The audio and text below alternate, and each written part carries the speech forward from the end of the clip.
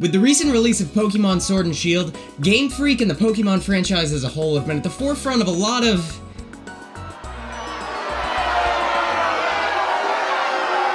conversation. And listen, I could go on for hours about why this game is practically unplayable, because I mean, if I can't even use my Paramount 6 Miltank strategy, then th what's the point? But that's not what you're here to see. You're here to see how much effort a full-grown man is willing to put into fighting a helpless fish, which I can guarantee you is probably a lot more effort than you would think. But before we get into what will undoubtedly be a very one-sided cage match, let's evaluate our competitors and see what we're working with here.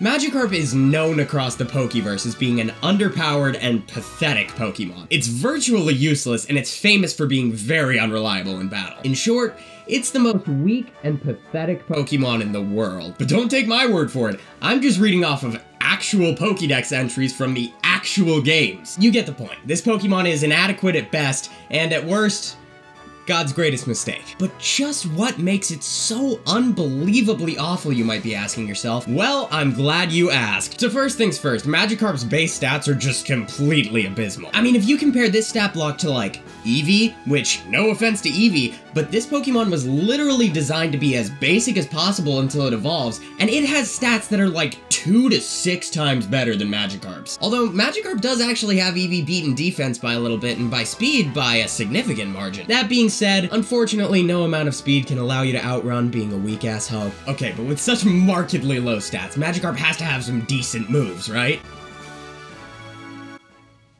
Eh, so what? It's not like it doesn't have any moves, it can still do something, right?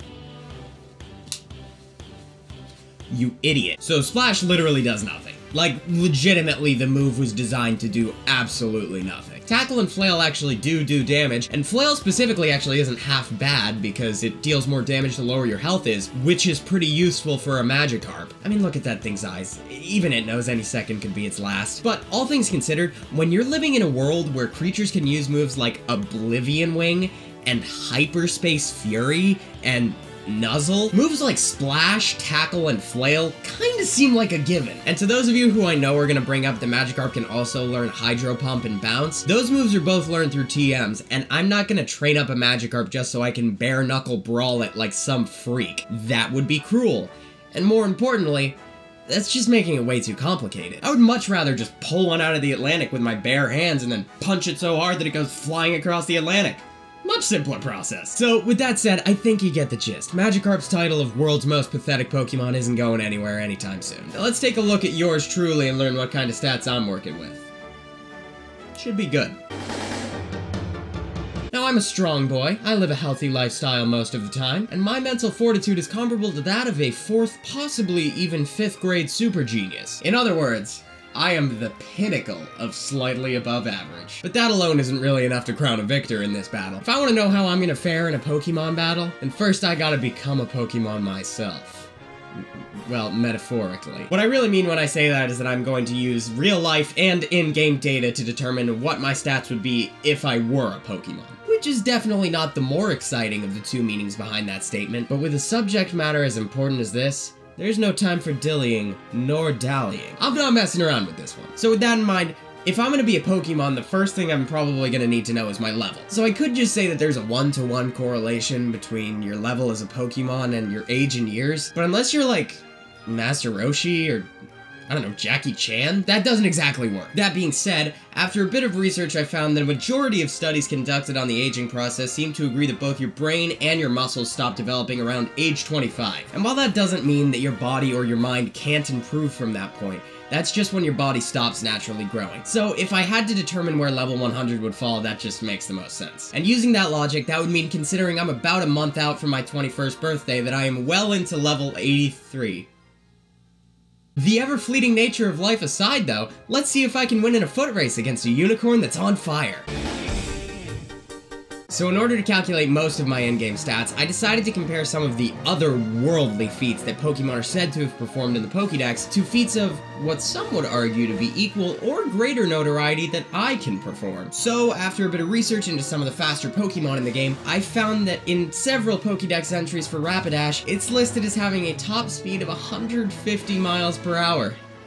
That's really fast. So obviously the term top speed refers to the fastest recorded speed of something. So with this in mind, let's say that a speed of 150 miles per hour is the real life equivalent to a speed stat of 339, which is Rapidash's max speed stat in the game. Knowing this, all that I then had to do was trick some of my friends into agreeing to help me calculate my speed stat. We did a couple trials, and although I tried to explain to my friends that I'm pretty sure I really am as fast as the radar gun was saying, they seemed to be under the impression that 24 miles per hour was fast even for a high level athlete, and that my speed actually topped out at 19 miles per hour. So for the sake of appeasing them, I guess we'll go with that for my top speed. And now that we know my top speed, we can do some quick math to determine that my official speed stat in the Pokemon universe is, can we get a drumroll please? Wow, that's uh, that's a lot sadder when that's just one guy. My official speed stat is 43. Not bad. I mean, could be better considering I'm like level 83, but it also could be much, much worse. And on that topic, let's move on to my next stat, defense.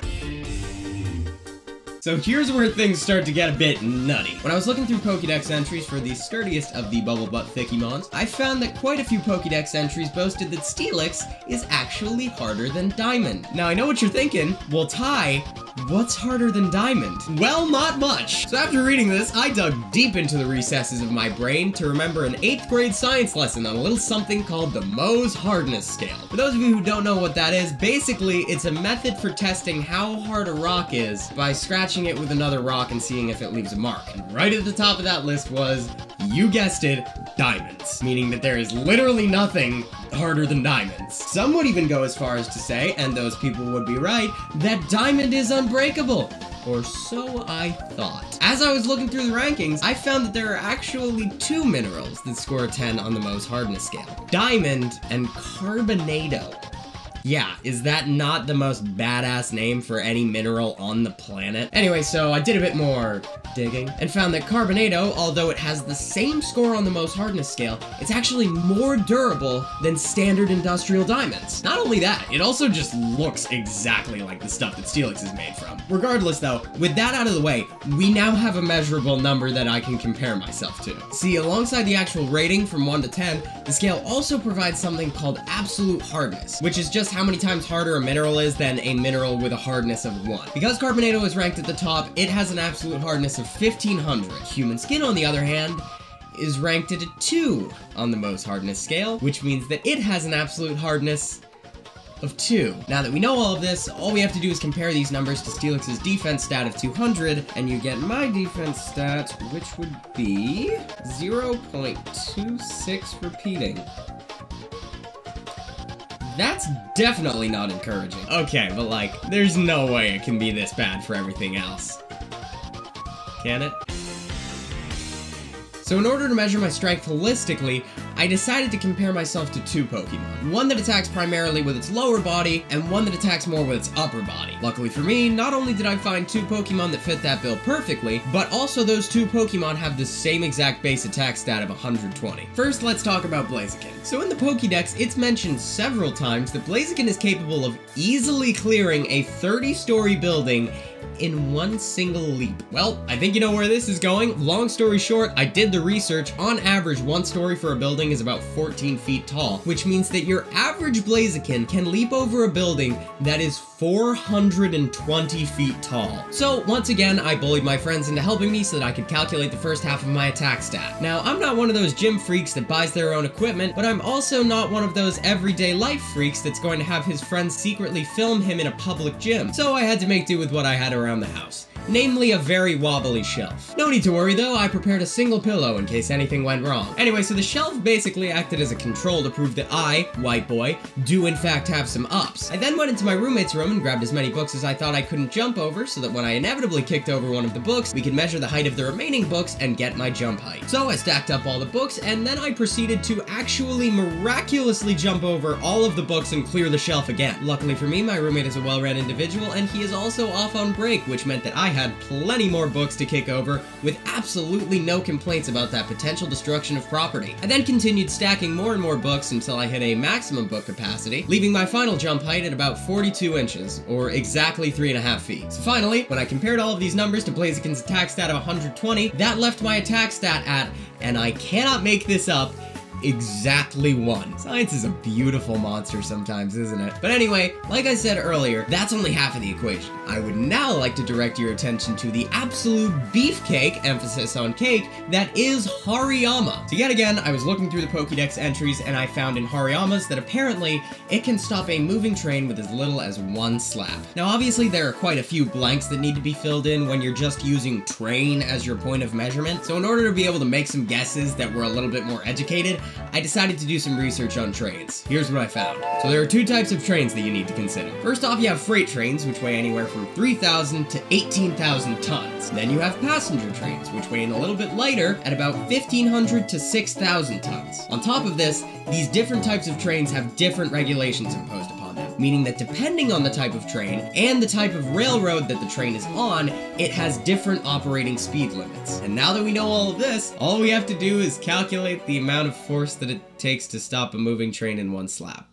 Wow, all of those seemingly arbitrary train questions from high school math classes are really starting to make sense now. So let's be real here, even if we lowball this sucker, like, as much as possible, the force required to do this is still gonna be absolutely absurd. So we're just gonna say that this is a 1500 ton passenger truck operating on a class 1 track going 15 miles per hour. And for those of you who think that that's a bit of a bold assumption, you'll understand in a second why these numbers are just so high that it really does not matter. Alright, so before we can figure out the force, we need to know the acceleration. And acceleration is equal to change in velocity over change in time. So let's figure this out. For the velocity, obviously it's going from 15 miles per hour to zero, so the change is 15. As for the time, let's just say that this slap lasts in total for about half a second. When you total that up and convert it all to the right metrics, that leaves you with a total acceleration of a little over 13 meters per second squared. And finally, to calculate the force, all you have to do is multiply that acceleration by the mass of the train. So you convert the tons to kilograms, multiply the two together, and that leaves you with a whopping 18 million newtons. Now it's time for me to explain why lowballing it did little to nothing to the final result. So once again, I mercilessly berated my friends until they helped me one last time, this time using the radar gun from earlier to determine how fast I can slap. After determining my top slap speed of 25 miles per hour, I calculated the weight of my arm based on the average weight of a male arm, which is about 6% of your body weight, by the way, in case you were wondering, and use the same equations as before to calculate how much force my arm puts out when slapping, which is about 97 newtons. That's not the whole story, however, because when a human throws out a punch or a slap or whatever, most of the force doesn't even come from the arm. In actuality, your arm only accounts for like a quarter of the power. So I multiplied 97 by 4 to get a grand total of just under 300 newtons from my slap. Now if you remember from before, the amount of force required to stop a train even under the easiest of circumstances, is 18 million newtons. In short, that would leave my attack stat at about 0.00192. And because both the lower and the upper body attack stat are based off of Pokemon with the same base attack stat of 120, that means that they can be weighted equally to give me a final attack stat of about 0.5, meaning that my upper body attack stat was so close to zero, even under the best circumstances, that when it's averaged out with one, it's still gonna be 0.5. But I mean, hey, at least I'm still pretty fast, right? Unfortunately, no amount of speed can allow you to outrun being a weak-ass hub. I'm really eating my own words here, aren't I? Well, since Magikarp can't learn any special attacks on its own, and since the closest thing that I have to any special attack is attacking people's sense of reality when they find out that somebody really can be that stupid, there's really no need to calculate special attack and defense, so the only thing that's left to do is calculate my health, and let me tell you, you thought those stats were bad. Get ready to get full-on clinically depressed with this one, because it is not good. So in Pokemon, when you're reduced to 0 HP, you're rendered unconscious, which means that all that I had to do was calculate how much force it takes to knock me out, and then compare that to the amount of force that a Pokemon can put out when attacking somebody. Now I've already had several concussions, and I'm not looking to make my skull into a bouncy castle again, even in the name of science. So instead I looked up the average amount of force it takes to knock a person out, and found that it can take as little as 4 newtons. In order to find the force that a Pokemon can put out with a single attack, I've referred back to our buddy Hariyama, who, again, can create 18 million newtons of force with a single slap. So I sifted through Hariyama's learn set to find a move that sounded like the right one, found a move called Force Palm, here's a picture of it, even the little graphic shows a hand slapping something, so I think we found the culprit here. Now fortunately, if you look online, you can find the exact equation that they use in the Pokemon games to calculate damage, which meant that all that I had to do was plug the numbers in and compare the amount of damage that it would have done in the Pokemon games to the unbelievable overkill that is slapping somebody with 18 million newtons of force when it only took 4 to take him out of commission. So as I established earlier, this Hariyama has an attack stat of 120. I also took the liberty of calculating the average level of every single Hariyama that you encounter in every single one of the games that it's in to ensure that the level was as accurately representative of an average Hariyama as possible. The result was an average of 49.5, so we'll round that up to 50. Also, a couple factors to consider here before we get our final results. This move gets an additional 1.5 times damage thanks to something called Stab, or same type attack bonus. Basically, that means that a fighting type Pokemon is using a fighting type move, so it should deal more damage. Also, I would say that it's safe to assume that I am a normal type Pokemon, because the only other type of Pokemon that I could reasonably be is a fighting type Pokemon, and the closest thing to formal combat training that I've had is the absolutely staggering amounts of anime fight scenes that I have watched and unsuccessfully tried to replicate. So with that being said, normal type Pokemon are weak to fighting type Pokemon, which means that that move is super effective against me, and it deals two times more damage. So finally, when you total it all up, that move deals about 120,000 damage to me, which you might think is pretty high. And it is, but what's somehow even more astounding about that is that with all of that in mind, when you compare that damage to the astounding amount of overkill that Hariyama is hitting me with when he hits me about 18 million newtons too hard, that leaves me with an HP stat of, get this, 0.006. Underpowered and pathetic Pokemon. Virtually useless, famous for being very unreliable in battle. It's the most weak and pathetic Pokemon in the world. Wait, but that means... Turns out, not only would a Magikarp be able to pretty handily beat me, but to make matters worse, even if I went out and challenged a level 1 Magikarp that knew Tackle, it would be able to one-shot me about 11,000 times over.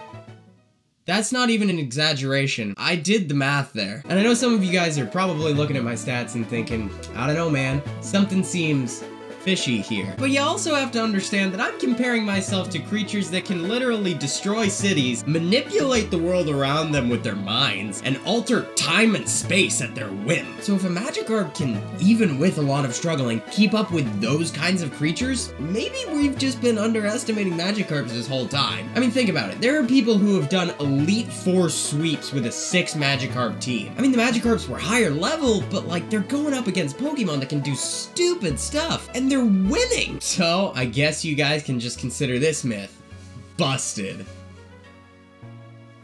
Yeah, that's that's really it. That's all I got. Uh, don't underestimate Magikarp. I guess that's the moral of the story. Uh, bye.